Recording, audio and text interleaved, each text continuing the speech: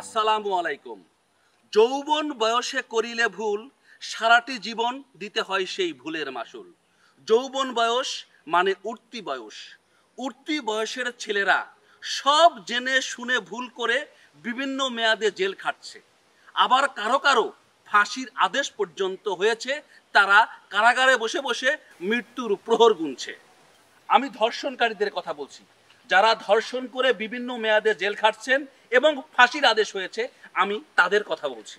নারী ধর্ষণের শাস্তি যাবজ্জীবন এবং শিশু ধর্ষণের শাস্তি মৃত্যুদণ্ড।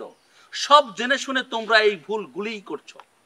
শুধু যৌবন নয় যে কোনো বয়সের পুরুষের জন্য নারী সঙ্গ দরকার হতেই পারে। তার জন্য সরকার অনুমোদিত বিভিন্ন জেলায় পতিতাপল্লী আছে। তোমরা সেখানে যাও। তবুও ধর্ষণের মতো অপরাধ করে নারীদের জীবন নষ্ট করো না, তোমরা নিজেদের জীবন নিজেরা ধ্বংস করো না।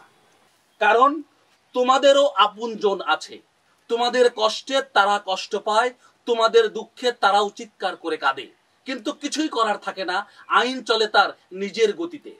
আবার কিছু কিছু পুরুষ বিনা কারণে, বিনা অপরাধে বছরের পর বছর জেল খাটছে, মিথ্যা মামলায় ফাঁসির আদেশ পর্যন্ত হয়েছে।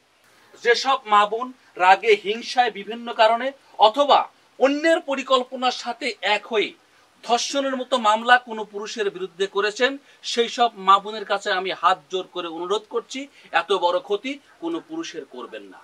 কোনো পুরুষকে ক্ষতি করার আগে একবার চিন্তা করে দেখুন তো, আপনার যে জন্মদাতা পিতা, সেও একজন পুরুষ। আপনার মায়ের পেটের ভাই, সেও একজন পুরুষ। যদি কোনো নারী আপনার পিতা বা আপনার ভাইয়ের বিরুদ্ধে মিথ্যা ধর্ষণ মামলা করে, তখন আপনার কেমন লাগবে? সবকিছুর পরেও আমাদের এই জীবনটা হচ্ছে দুই দিনের জীবন।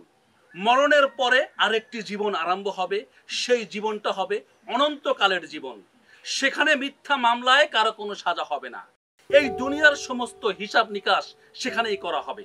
সেই কথা চিন্তা করে হলেও, কারও উপকার করতে না পারলেও কারও ক্ষতি করবেন না। ভালো থাকবেন, ভালো রাখবেন। আবার আপনাদের সামনে হাজির হব নতুন কোনো বিষয় নিয়ে। আল্লাহ হাফেজ।